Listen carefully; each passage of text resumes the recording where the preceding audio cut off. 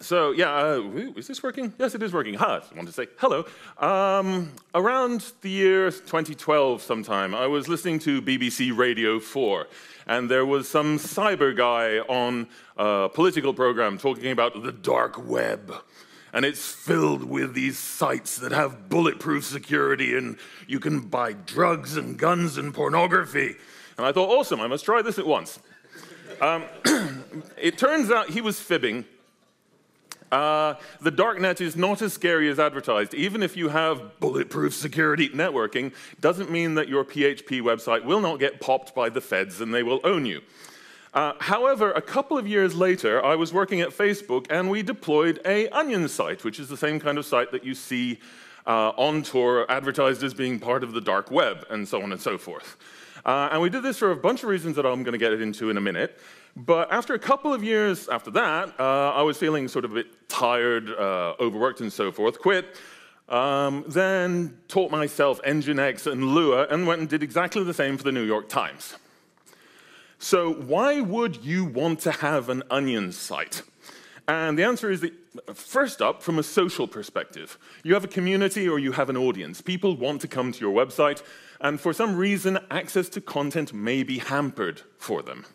Uh, so uh, they might go to a fake website if someone else controls their DNS.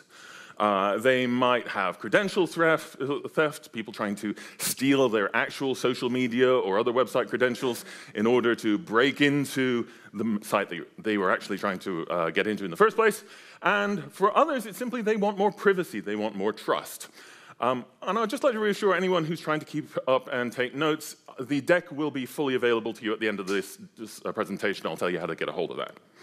So, the social value of Onion networking when crossed with technology is you get greater assurance. If you go to Facebook core www.onion, which is the publicized Facebook Onion address, you are definitely talking to Facebook and you're talking to the core web infrastructure at Facebook because we got lucked out when we were uh, mining a onion address and we backronymed it into that.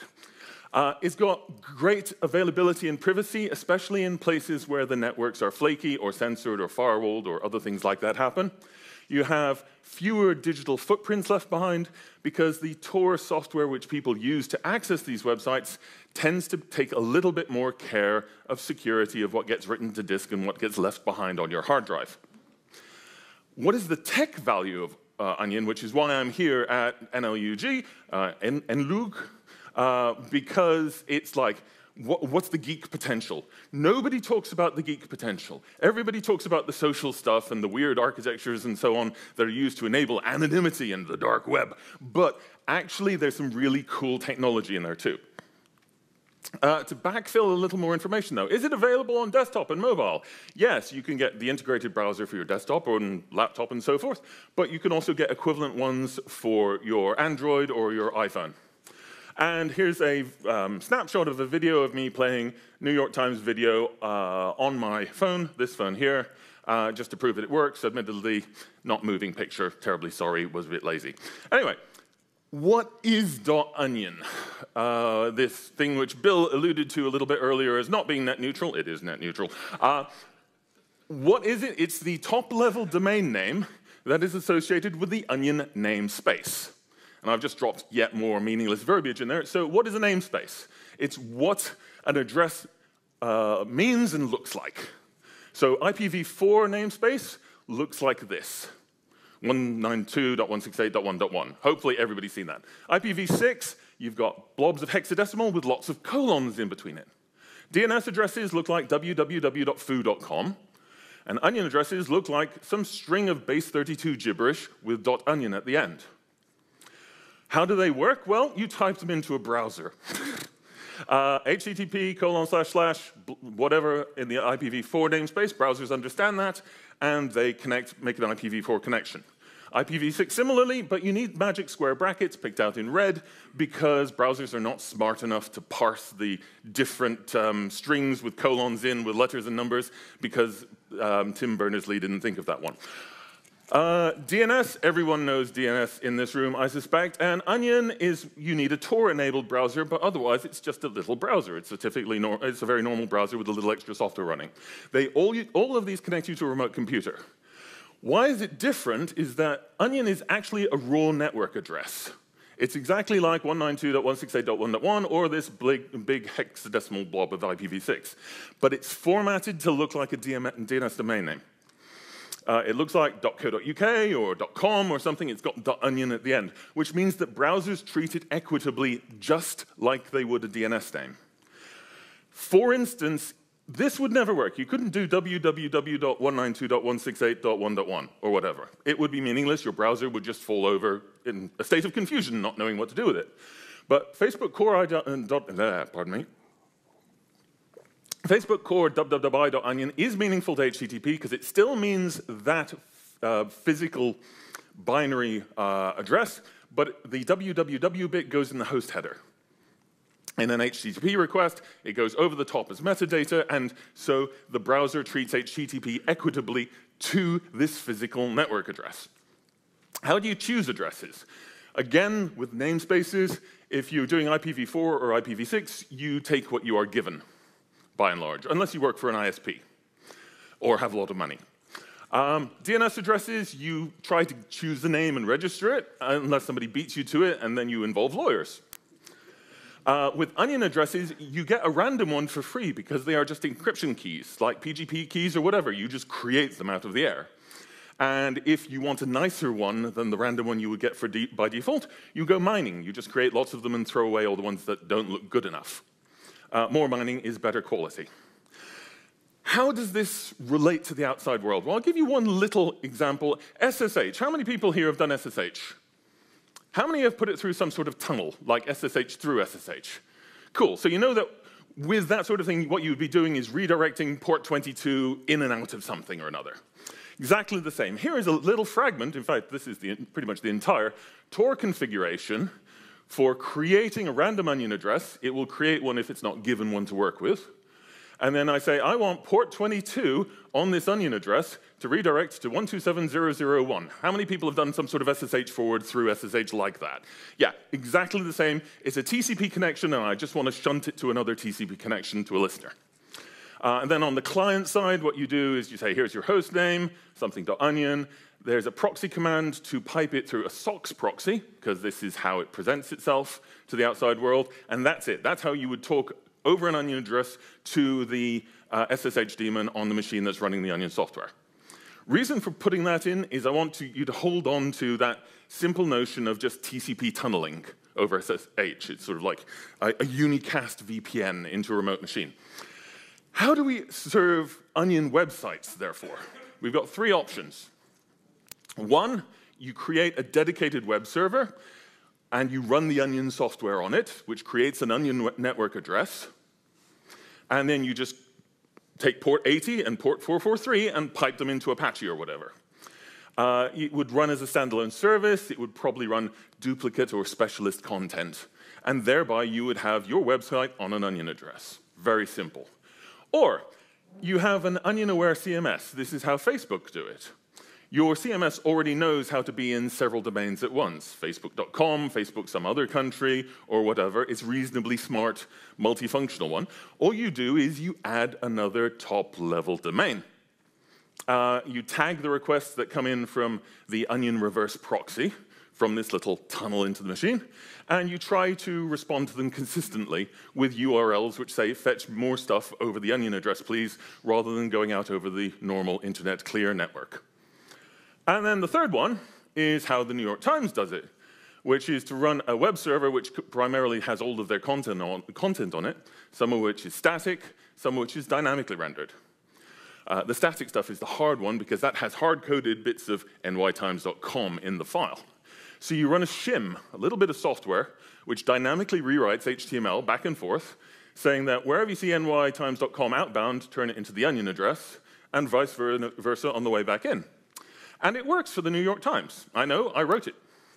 Um, there is, uh, in order to support this, an entirely free and Libre toolkit, which I wrote, called Enterprise Onion Toolkit, which I give away. It's available on GitHub, and there's lots of videos on how to use it, and other sites are also playing with, experimenting with it. So to uh, summarize, there's your three different ways of doing it for your website. Uh, use case dependent, you just do dedicated onion server, or you fix your CMS to understand onion addressing as another alternative top-level domain, or you do bidirectional translation of input and output. So far, so good. Implementation tips, also ununify your CDNs, because otherwise what's the point? If somebody goes to New York Times webpage and then starts pulling videos over the ClearNet, that's kind of spoiling it, and also it degrades performance, as I will demonstrate shortly. Uh, you don't want also to bring in other trackers and third-party websites, but you know, it's a matter of taste. They will still be going through the Tor browser anyway, so anonymity is preserved if you're worried about anonymity. But again, performance and just trying to be tidy. Um, and yeah, lo horizontal load balancing works, amazingly. Uh, NITs, you will probably need a EV-style HTTPS certificate because, and they cost maybe a few hundred, maybe a thousand or so dollars uh, because of the nature of EV and of onions getting HTTPS certificates. That's being worked on at the moment, but at the moment you have to be an actual company in order to get the SSL certificate to permit this. If you're not doing SSL, if you're just doing SSH or database access or something else like that, you don't need to worry about this stuff.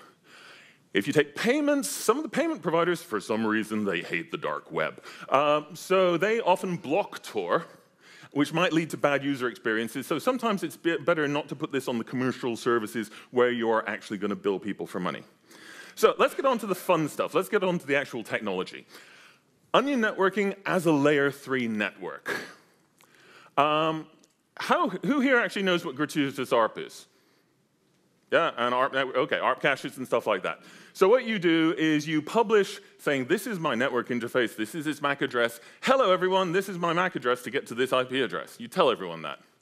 Uh, and then they, they populate their ARP tables. The client looks that up backwards by looking in its local ARP table or making a dynamic query, and then it sends packets out. How it works for Onion is looks like this. You see what I was trying to do here. Flashing lights. Uh, is that what you do is you create an onion address, you mine your cryptographic key for it, you say, in order to talk to my onion address, talk to an IP address somewhere out on the cloud, not me, someone else out there. Uh, you populate uh, you, uh, the um, distributed hash table of the hidden service directory, terminology, uh, with your descriptor saying how to talk to you, and then people can go look that up, and then people can make a TCP connection to you and make circuits over it. In other words, TCP IP is the layer two uh, link layer of onion space. Uh, but you can do, there's a lot of flexibility there, more than you get with um, LLC on Ethernet. If you like uh, seven layer diagrams, here is one I created earlier. Uh, and if you've got frames over MAC or uh, cells over TCP, here's your onion address. Here is TCP only, stream only, so you can't do UDP datagrams. It presents as a SOCKS5 proxy rather than a socket, which enables applications to talk to it more easily. A lot of things will still talk uh, SOCKS5, or you can use Netcat in order to be a backend for SOCKS5 and go through that. Secondly, to Bill's point earlier from the presentation, onion space is entirely flat. Everybody participates in the same network as if they were on a giant LAN. NATs and firewalls are not an issue, as for reasons that I'll uh, illustrate in a second. The connections pretend to be direct TCP from point to point. The end-to-end -end principle is restored. Services and ports are published by the owner of the website rather than simply, you know, you run this software and it magically opens port 445 and does stuff and it's listening on all interfaces simultaneously because that seemed like a good idea to the developer. No, you as the systems administrator have to take an explicit step to publish a la SSH forwarding or whatever, any port that you want to make available to Onion Space. Uh, hidden service port, uh, for, oops, port back here, uh, 44422. If I want to go and put uh, open access to my SSH on port 44422, I'll just do this line and pff, it would magically happen. Uh, so I'm looking at this more as a sort of consent-based networking. Rather than firewalling, it's closer to X25 NSAPs, for anyone old enough to remember that, where you actually have to do some legwork to say what services you would like people to connect to. Uh, the reason for this is that 1994, that man back there and his um, co-conspirator published a book called Firewalls and Internet Security. And if you were 13 years old in 1994, you'd be about 37 now. So from that, it's a fair bet. Anyone under the age of around there is unlikely to have pinged from one side of the internet to the other. Whereas I remember sitting on machines and pinging my way and fingering my way around the Berkeley network in order to find out if Eric Allman was online and I could send him email and stuff like that. It was, it was direct and it was disintermediated. We are returning, or we could return to a consensual, consent-based networking uh, which is disintermediated, which allows arbitrary machines anywhere to connect to each other directly without having to fret about firewalls. Uh, I think this is really interesting, cool place to go. Onion space is also circuit switched. The analogies with X25 continue a little bit. Uh, admittedly, you know, circuits, one of the reasons that X25 didn't get popular, is circuits break, but then TCP reset is also a thing sometimes, depending on how bad the network is running at any given time. But the circuits that you set up in order to do onion networking when you're sort of hopping around inside the Tor cloud uh, are also multiplexed and reused and a whole bunch of other efficiency stuff. So it actually works quite well. It's, as a trade-off, there's a lot more cryptographic legwork and hopping around inside onion space, but the fact that it's circuit switched makes it quite, uh, quite efficient. Uh, it's a rendezvous protocol that you're running. You're not running client-server, although you think you're running client-server. Rendezvous protocols look like this. Uh, notice that here's the server, here is our client, and both of them have got firewalls which prevent inbound connections entirely, but permit outgoing connections. So the server can create an introduction point in the Tor cloud. It can register the introduction point in the hidden services directory. The client goes and looks it up, talks to the introduction point, and says, doesn't communicate exactly directly. What it does is say, ring me back, connect to me over here. So the client establishes yet another machine, and the server reaches out in pink and connects to it, and then the traffic flows blue down there and up the blue dot up to the server. Means that the server and client both can sit in enclaves where they can be protected from all the badness of the rest of the internet, quite hidden. And they can be geographically distributed and, dis and dispersed uh, it provides an awful lot of architectural benefits, speaking as a former Sun Microsystems professional services enterprise architect for seven years. Um, this is all hidden, though. You think you're talking to a TCP stream over SOCKS 5, but it's actually a lot more complicated behind the scenes. Fortunately, all that stuff is hidden from you by a very nice, simple configuration file. These introduction points, though, and all the stuff that goes on inside the Tor cloud gives you redundancy, transience, and global migration. In other words, you've got a DDoS-resistant architecture. Anyone who tries to interfere with your communications can try and block your introduction points, but they change every 10 minutes or so. And they, if they want to try and disrupt your communications with some existing client, they have to find the random machine that you rendezvoused on, rather than any of the advertised introduction points which are associated with you. It's really hard to disrupt communications over Tor. Uh, you have very little control of where these things happen, but they are distributed globally, so I'm going to call that global service load balancing.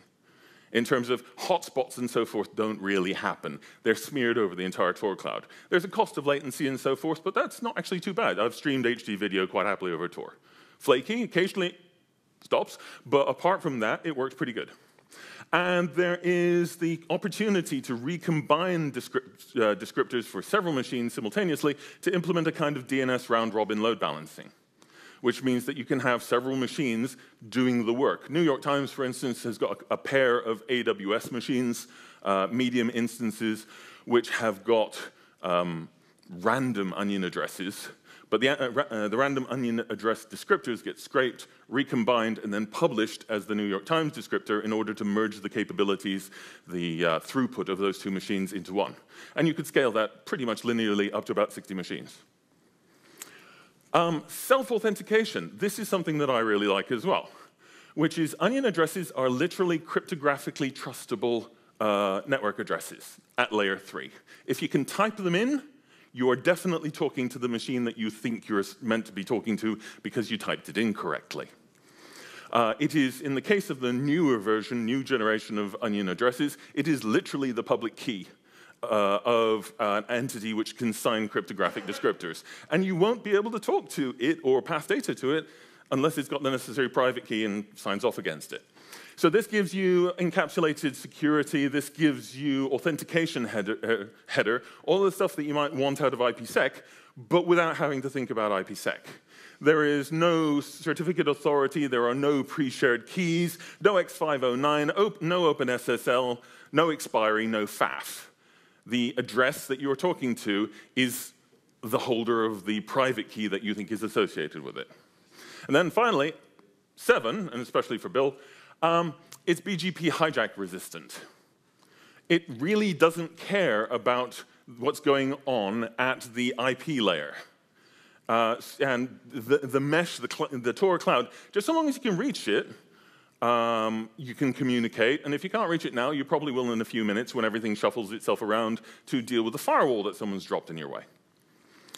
So if you remember one thing from the entirety of this talk, you probably know the saying, you know, the internet interprets censorship as damage and then routes around it. I think we've got too used to reliable networks. But Tor is literally designed to bypass censorship, which is damage, and route around it. So it's really good at it. And this includes the damage which is inflicted by firewalls and NAT and all the other things which Bill was alluding to in the keynote, and which was one of the things that I was bouncing up and down with glee when I saw it. This restores the end-to-end principle. There are, however, downsides.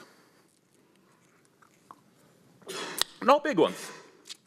Latency, lag, and circuit drops are probably the big ones that people would worry about, would fret about. It's good enough, though, for the right kinds of workload. Uh, here is the diagram of network connections that you make. Uh, like, if you are browsing the normal web over Tor. Here is your browser, which is a modified version of Firefox. You go boingy, boingy, boingy in the Tor cloud, come out and you talk to a website over there. If you're talking to Facebook or the New York Times, you have a Tor browser, you go boingy, boingy to the rendezvous point, and the onion calls you back over here. Same number of hops. One, two, three, four, five to the end. One, two, three, four, five to the end. Should be about the same performance, but it turns out Tor is popular. And most people are using it in the top mode with going through exit nodes, as they're called. And exit nodes are a constrained resource. There aren't many of them. Enough to support day-to-day -day operations of Tor, but they're congested. And so you go boingy, boingy, boingy, and then you choke a little bit, and then you talk to the web server as opposed to this, which is boingy, boingy, boingy. There are lots of spare capacity in the middle of the Tor cloud as opposed to around the exit node periphery. So people, the onion calls you back over a nice quick link, and less hassle, less faff. In fact, uh, do I have? No, not that. Um, I'll come back to that in a second. But there is, of course, with if you're using a shim or something else, a reverse proxy, there's that link, which is probably negligible. Not guaranteed to be, but probably. But you'll generally find that these two, the cost of them together is less than going through the congestion of an exit node. So we're talking about a network which is direct, end-to-end, point-to-point, doesn't care about what is in the middle of it in terms of firewalls and other stuff, and will let you connect in a flat namespace. This is why I believe it's net neutral. Downside number two is you've got to learn some shit. Probably, though, it's not all that hard, especially if you've done tunneling over SSH or anything like that. You've got yourself into the right mindset of creating a little channel-like VPN to a specific machine which you're just going to tunnel some stuff along, especially. Tor is a bit like that, but open access. It is not TCP IP, but it feels similar. It is not an internal network, it's software-defined networking, effectively. Uh, user space daemons, you use config files with an arcane kind of historical retro syntax. Uh, it's not ifconfig, and it is evolving. But as I was thinking a little bit earlier, um, my first Usenix was 25 years ago, and I'm 50 now. So that's like half my life ago. Back in those days, you could go to a Usenix or a similar Unix user group meeting and actually learn something new about technology. And so I'm hoping that you might go away inspired to experiment with a brand new network stack for fun. Example that I did at the end of last year, just for fun. How much effort would it take me using the Enterprise Onion toolkit to do the whole of Wikipedia? Turns out, uh, I talked to Wikipedia eventually. They were a little bit upset that I went ahead and do it. But on the other hand, I'd like, I've been talking to them about doing this for three years. And they said, it did never work. Never say that to a software engineer. Um, the entire configuration file for putting Wikipedia on an onion is this. Uh, what you say is, if you see the top-level domains wikipedia.org or wikimedia.org in an email address, don't mess with them. Anything else that says Wikipedia or Wikimedia, turn it into an onion address. Brute force search and replace. Works really well. Uh, forcing HTTPS, I can add a little extra magic so that if an HTTP connection comes in, I automatic over the secure onion network, I can automatically upgrade it to 443 before it leaves by doing a bounce redirect, if you enable that and if it's okay to do so. And then this is just, let's create some onion addresses and say that wikiquote.org and m.wikiquote.org go to some new onion address that we'll create. This is the resulting Tor configuration as an example. It's not big. If you're messing around with software-defined networking in Tor, this is the sort of thing you'd be working on. You could have a directory somewhere in the file system where it puts all your stuff. You can talk to Unix sockets, or you can talk to TCP IP sockets, uh, like you know, the port 22 SSH forwarder we were doing earlier. I do it over Unix because when somebody tries to DDoS you uh, and tries to tie your file descriptor table up, um, or it's a lot faster to recover than having your TCP uh, table, port table fill and um, empty itself. Bit of logging and other stuff. Uh, make it efficient single hop modes rather than uh, trying to retain my anonymity if I'm Facebook, if I'm the New York Times. I don't mind that people know that I'm doing this. So let's just make things a little bit less laggy. Um, and then, yeah, port 80 goes to this socket, port 443 goes to that socket, and this is how many introduction points do I want to run for this Tor daemon. That's it.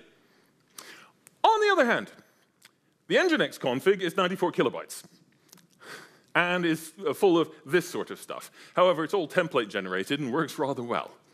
And as I say, I streamed HD video off the New York Times site to my mobile using this, so it does work. Um, and lo and behold, everything was working fine. And he got a moderate amount of press coverage, and the people from Wikipedia said, we're still not going to do it, but at least it does work. Nil carborundum. Anyway, um, then some asshole decided they were going to denial of service me and just try hammering me with connections. So I went away and just wrote some code and set some blacklists and so forth to reject things. But I was getting a few hundreds of uh, connection attempts and requests per second on a low-end quad-core Intel box somewhere in the Netherlands, which was talking to Wikipedia. And it was a borrowed piece of hardware, and I don't think CPU went above 4%. So, you know, you can hammer this, but the circuit-based switching that you get is kind of efficient. If you're Unix, using Unix domain socketing rather than TCP socketing they, uh, socketing, they can't exhaust your port space fast enough. The resources that they can try and kill and eat are fairly slender. And the only thing that I got was Wikipedia whinging at me saying there's this one IP address who's hammering them with bad requests. So I wrote some grep rules effectively to switch that crap off and um, everything, know, everything was restored. We had a certain degree of happiness. So the Wikipedia experiment was a short-term uh, thing. It only lasted like 10 days or so uh, until they started saying, well, yeah, but you know, that might be our branding. Mm. Um, ran on some borrowed hardware, was DOS, and it worked really quite well. And it did a very good job of rendering the entire site as onion addresses. The only thing that was lacking was a proper SSL certificate, because those cost money and would have to be done by the official agency. And I have no problem with that. Video, little performance test. Uh, this is a, why are, you, why are you not, yeah, okay. It's a long video, um, so please be prepared to ask some questions and so forth. I think I'm, yeah, half an hour, I've got plenty of time. Um, this is Tor browser, freshly loaded. Uh, this pane is going to open the Facebook Onion site. This is going to open facebook.com. Uh, and we're going to race. So start the video. That's me sort of highlighting, there's the two tabs that I'm going to go hit. Hit the onion button, go over, hit the com button. And I sort of, so you can see it's loading .onion there, it's loading FBCDN there, and the onion one, onion one came up first. Right. And then I sat and I watched. And I watched. And I got a bit bored. And I said, well, maybe I should click on the things because, you know, this clearly is running a bit slow. So then I loaded another page and scroll up and down a little bit. Then I think at some point I said, well, look, go back to the other one, point out that it's still working. Yeah, there you go. This is still loading. This is not a fake. Uh, scroll, mouse over some things. I know what I'll do. I'll go load up the Facebook page for the Facebook Onion site. So I'll go over here, edit the URL, type in Facebook core dub i, and press return. And that loads, boof, and this is the presentation. We're still waiting for the other one to load.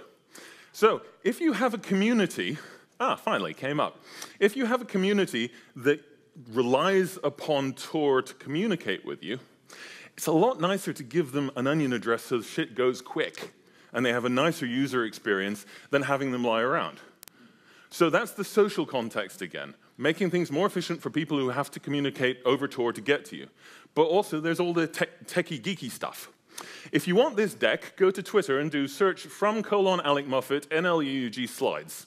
That should be easy enough to remember. I put it up on SlideShare, and I'll also do some replies to that tweet where I'll stick original copies of decks and things like that at some point in the future and have any further discussions and take Q&A. Just as one final little added tweet, uh, tweet, added benefit, sorry, completely phasing out. Um, you remember the SSH example, the first one I did, which was just setting up a little connect to localhost port um, 22 uh, to forward your SSH connection onwards. Tor has a little twist. I don't use it much myself. I've only deployed it on one machine, but it's kind of fun. These are cryptographic network interfaces. They're not like ETH0 or HME0, which you ifconfig. It's a directory, it's got crypto keys in it, it's run by some daemon in your back, on the background on your machine, which then forwards stuff on. That means you can mess around with it. So you can have password-protected network interfaces. So if I'd added an extra line to this saying hidden service authorized client basic, Alice, Bob, Charlotte, Dave, it says the onion address that it randomly generates and picks for me, it then associates a nonce with, and these are the only valid ways of talking to these four instances of the network interface. Unless you know these four secret strings, you wouldn't be able to do it. You wouldn't even know that it exists. So it's like an IP address at IPsec or whatever, which is completely unreachable and is not even routable to unless you know the magic password.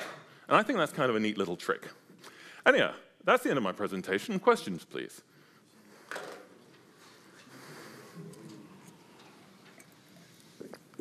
Give that man a mic. Oh, Guido, could you run the mic? I don't need the mic. Yeah, I know you don't. Other people might. um, so if I was still running a corporate firewall, I would find this concerning. Mm. And if I were running the Great Firewall of China, I would be under huge pressure to fight this. How do, how do they fight it? The way the Chinese fight it is fairly well documented, especially if you go back to the um, chaos communications congresses of the last few years. You'll find several presentations on this very topic. For instance, one of the things that they do is they send probes. When someone reaches out to the non-Chinese internet and makes an HTTPS connection to an odd port number often, but not always that, they follow up with a second probe that connects to it and then tries to talk Tor at it. And if it responds in a Torish kind of way, then they send a reset packet, forging it for the outbound connection from the Chinese um, client. Um, there's twists upon that, and there are, it's a game of cat and mouse. There are multiple ways that this is combated. In regards to your original question, you know, if you are someone who thinks in terms of perimeter security as being your solitary defense rather than having a defense in depth, multiple independent, different, mutually reinforcing security technologies approach. Sun Microsystems Professional Services, Architect, Chief Architect 2000 to 2007. Um, if you're doing security with multiple layers of security, tautology, whatever, um, then you're a lot better off than just having a crispy shell with a soft center.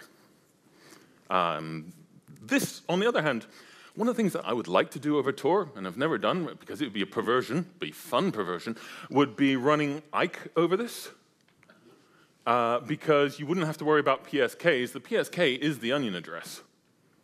Everything else would drop out in the wash, and then you could use this as your backhaul for IPsec that you do everywhere. Or another possibility is global clustering having Raspberry Pis, if you like Raspberry Pis, I like Raspberry Pis, uh, which you can then ship to four corners of the world, but all of them have, the, all of them have simultaneously the same IP address, or rather the same onion address. They don't care what their IP address is, they're one level above this. But it would mean that in order to kill the service, you would have to kill all four machines. It would be a bit like a Horcrux. More questions? Sir?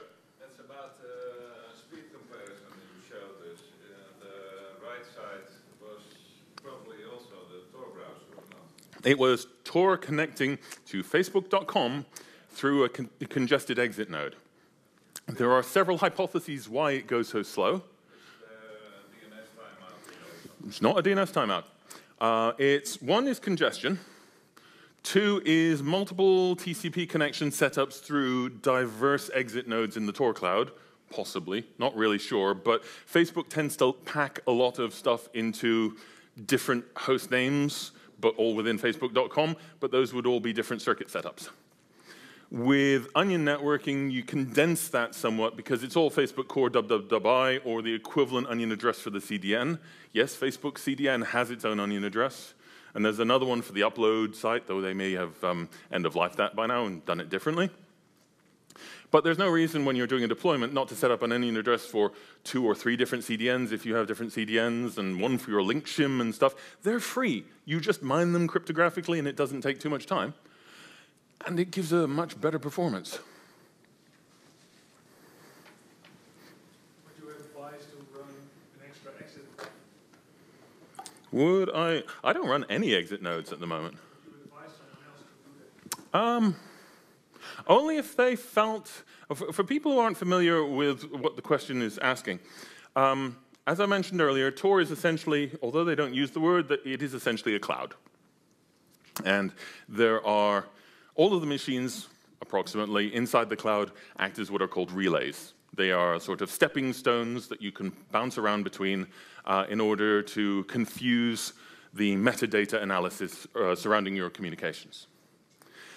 The Machines on the outside of the cloud are called exit nodes. And those are the ones that can reach out and touch the internet. But those exit nodes tend to get a bad reputation because people sometimes do bad things over Tor. They do bad things over the internet in general, in fact, but in this specific case over Tor, and so it's used for scraping sites and going to other dodgy sites and stuff like that. So they tend to get funded by large civil society organizations or places with a civil society mission, a bit like Mozilla, for instance, uh, do exit nodes. Um, other organizations do, but occasionally you get the police coming in saying, yes, this machine was hacking into that machine over there, and you're a bad person. And it's only because some other person came and used your reverse proxy to go and hack into some other site. So use Relays? Yes, this uses relays. Using, uh, uh, if you were going to um, suggest to people run your own exit relays, I would say get a good understanding of what you're letting, letting yourself in for and make sure that you understand the legal uh, implications of it. it. Varies from country to country. I think it would be a good thing to do, and I'm sure Tor would welcome it. Or alternately, you can just pay money to exit node operators who exist um, there are companies that do this professionally, and you can just sort of donate money to them and say, run more stuff. Um, lots of different ways of contributing back to the Tor project without necessarily setting up your own, own exit relays.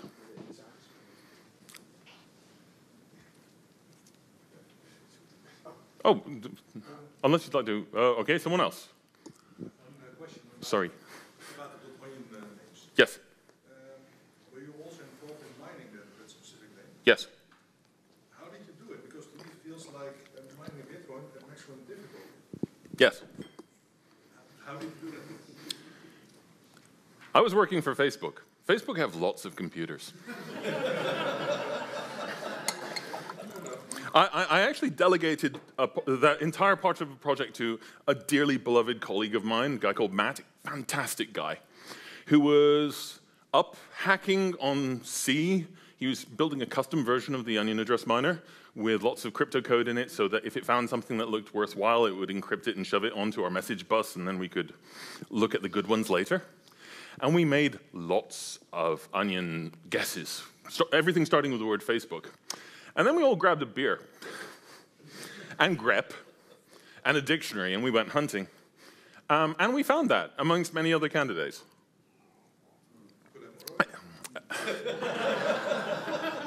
To the best of my knowledge, there's only two people in the world who have easy access. Mind you, I suppose the, the, some, of, some, of the ops teams at Facebook perhaps have access to the private key. I do not. I never had a copy of the private key. I made sure of that. Um, but yeah, it's just throw lots of computers at it. And you can do actually remarkably well. I, I have a small Raspberry Pi cluster and leave that running 24 by 7 running onion mining. It runs, it creates an eight character one every day or two. Um, probably a few, a few per day even. Any more? Uh, you had one in the back. That's more basic question, but uh, if I make a connection to a terminal, I do that on a public key, so I can verify the messages. The store then, does it signed messages that go back, or does it encrypt them? Um, I think I'll answer that by going a little, stepping a little back into the Tor protocol. The reason it's called onion networking is that, uh, can I borrow Guido and two friends? Come. Uh, so what I need is, right. Uh, and, and,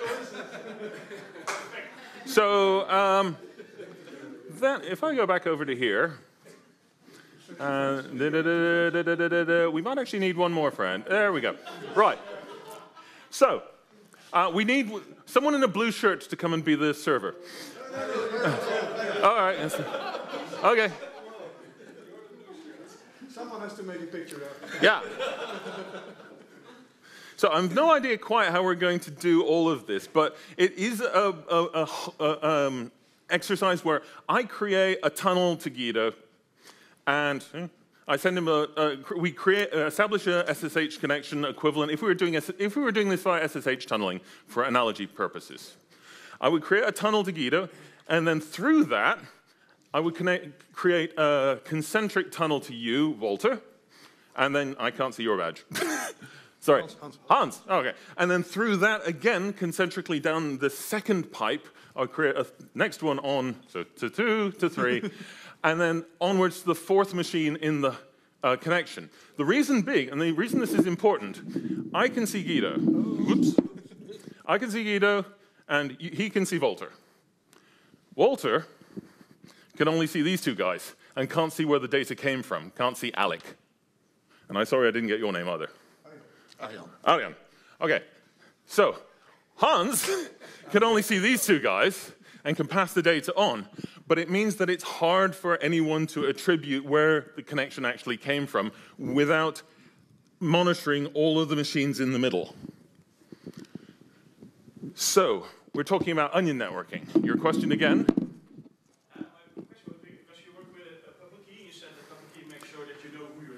Yep. So at any.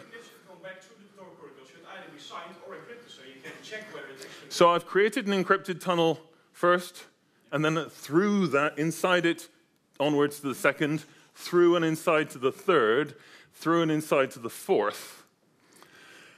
That last hop is maybe HTTP or HTTPS or SSH or anything whatsoever. All of these hops, on the other hand, all they know is they've seen traffic emerging and they have uh, their own cryptographic identities, and I know that I am talking to them. So the uh, encrypted channels are nested four deep, like layers of an onion. That's the authenticity that we get for the connectivity. That is what stops it being tampered with.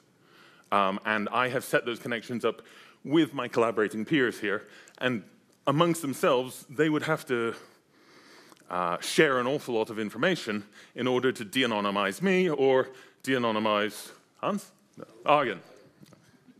Sorry. Uh, I hope that answers your question. Otherwise, we can do it over a beer. Okay, 45, I think we're good. Time's Thank up. you very much. well, thanks very much. Alec?